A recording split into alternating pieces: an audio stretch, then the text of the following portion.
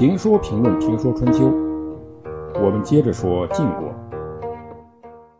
胡衍、先真解决了重耳的做人与做事问题，但重耳团队力量的发挥，可能还需要一个撮合大家到一起的人。在这方面，可能就要提到赵崔了。赵崔是赵府的后代，赵府是商纣王的宠臣飞廉的小儿子季胜的后代。飞廉的另一个儿子鄂来是秦国国君的祖先，因此赵秦原来是有一个先祖啊，有同一个祖先。赵氏的祖先因为辅佐周天子有功，被封到了赵地，成为晋国的大族。既然是晋国的大族，就要参与政治。赵崔作为家族的一员，自然要选择机会参与政治。参与政治。跟人很重要，跟对人就能成大事跟错人，离开他是不忠，继续跟是不明智，因此选择人一定要慎重。在春秋时期，跟人是可以选择的，选择却是一件头疼的事也是一件不知对错的事所以赵崔也没有办法。在选择辅佐晋献公的哪一个公子时，他把选择权交给了神灵，就是交给了占卜。结果他占卜了几个公子，唯有重耳吉利。于是赵崔一生呢跟随了重耳。赵崔比呼延有文化，会做人，会说话，因此在重耳与秦穆公宴会时，呼延力推赵崔。赵崔也不负众望，既用诗歌表达了重耳急迫回国的心情，又不掉价，显得很有文化，很符合贵族的品味。赵崔还是道德方面的典范，在做人方面他非常成功。在别的跟随者争功邀赏的时候，赵崔总是避让。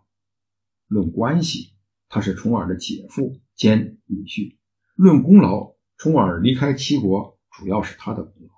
不离开齐国，就没有后来的晋文公。但是赵崔总是让权让利，如果只是傻让，也不会被人尊重。而赵崔这种让是非常智慧的，以至于后来重耳都有些过意不去了。因此，呼延的儿子评价赵崔说：“他是冬天里的太阳。”什么是冬天里的太阳？冬天里的太阳是温暖的，是人们都愿意接近的、亲近的。人们都愿意亲近、靠近赵崔，他就可以发挥包容、和谐的作用。因此，重耳的团队里有了赵崔，就有了冬天的太阳，就能温暖人、团结人。赵崔成为团结的纽带。而对于重耳来说，赵崔又是一个最好用的挡箭牌。这样的人没有得到重赏，其他人还好意思争吗？每个人在争功之前。都必须想想，功劳再大，你大得过赵崔吗？你晋文公的关系再铁，你铁得过赵崔吗？这样看来呢，赵崔的作用是大了去了。按照传统人所相信的因果报应，积善之家必有余庆，积恶之家必有余殃。赵崔为赵氏家族积了阴德，因此。虽然赵崔什么也不争，但人们把很多东西都给了他的儿子赵盾。赵盾最后掌控了晋国的朝政，但赵盾与他父亲不一样，霸道独断。